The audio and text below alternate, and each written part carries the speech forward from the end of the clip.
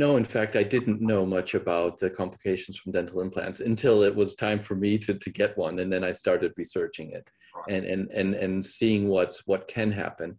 And, and it's like anything else. I, I think we're all aware that, that, that things happen, you know, that, that things can go bad for various reasons, you know, whether it's the, the device that's, that's put in or the procedure itself, or, or me not taking care of my own teeth. Um, but again, like before, information is critical, and, and I think that transparency is, is, is the ultimate way to deal with any of these problems.